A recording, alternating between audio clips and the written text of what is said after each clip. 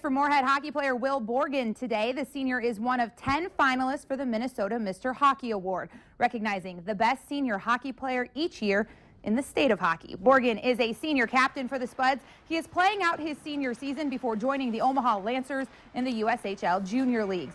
He's also committed to play college hockey at St. Cloud State. The recognition makes him just the eighth Spud ever to be a finalist for the Mr. Hockey Award, something Borgen says makes the honor that much greater.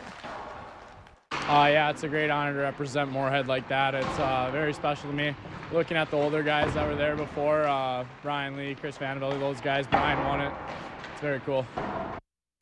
North Dakota commit and East Grand Forks senior Dixon Bowen is also a finalist on this year's list. Borgen is also joined on the list by three of his future St. Cloud State teammates.